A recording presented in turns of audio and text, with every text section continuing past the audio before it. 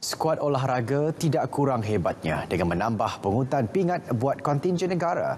Kem olahraga berjaya mengutip dua emas, enam perak dan satu gangsa pada aksi yang berlangsung di Stadium Sisaket Sport Authority.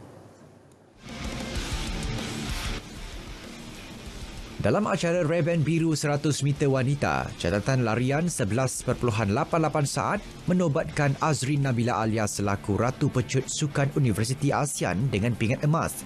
Lebih manis, rakan senegara Nur Sarah Adi meraih perak dengan catatan 11.97 saat manakala gangsa milik tuan rumah Thailand. Bagi acara Padang, balingan kedua atlet lontar peluru, Kamal Farhan Abdul Rahman sejauh 16.47 meter melayakkan beliau meraih pingat emas. Pencapaian berkenaan turut memperbaiki rekod pribadinya itu berjaya meninggalkan dua wakil tuan rumah yang merangkul perak dan gangsa.